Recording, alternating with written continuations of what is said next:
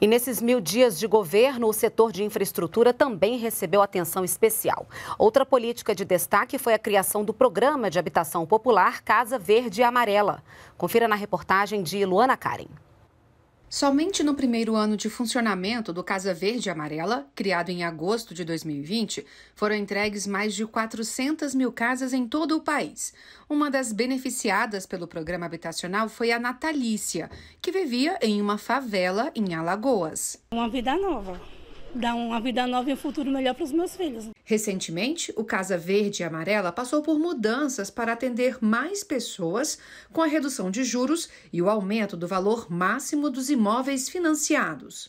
Cada ação que está sendo desenvolvida aqui é para permitir que aqueles que estavam desenquadrados passem a continuar enquadrados entre 10% a 15% e as empresas continuem a ofertar no mercado esses imóveis. Outro destaque dos mil dias de governo foram os investimentos em infraestrutura. Nesse período, 34 aeroportos foram entregues para a iniciativa privada, 22 deles apenas durante a Infra Week.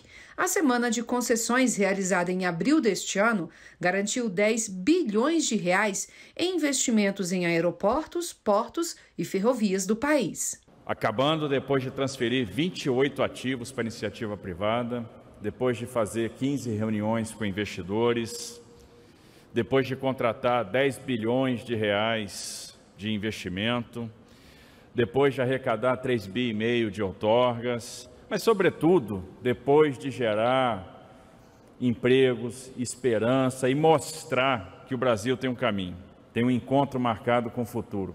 Entre as ferrovias concedidas à iniciativa privada, destaque para a concessão do trecho 1 da FIOL, a Ferrovia de Integração Oeste-Leste, que vai receber mais de 3 bilhões de reais em investimentos para cobrir de trilhos os 537 quilômetros entre as cidades baianas de Ilhéus e Caetité Recentemente, também foi anunciado o início das obras da FICO, a Ferrovia de Integração Centro-Oeste.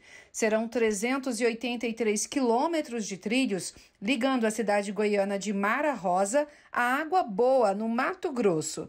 Futuramente, as duas ferrovias, FIOL e FICO, vão ser interligadas à Ferrovia Norte-Sul, unindo o país sob trilhos. Os resultados dos investimentos em infraestrutura devem chegar na mesa do consumidor. Cada vez mais nós temos a certeza que aquilo que nós produzimos no Brasil chegará mais barato, não só na mesa do consumidor, bem como nos portos prontos para exportar para fora do nosso Brasil.